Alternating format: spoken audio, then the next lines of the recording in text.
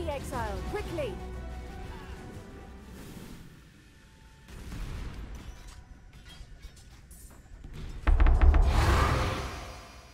So that was the Elder.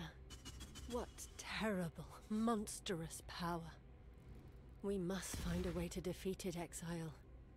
We seem to have driven it from this world. There must be a way to defeat it for good.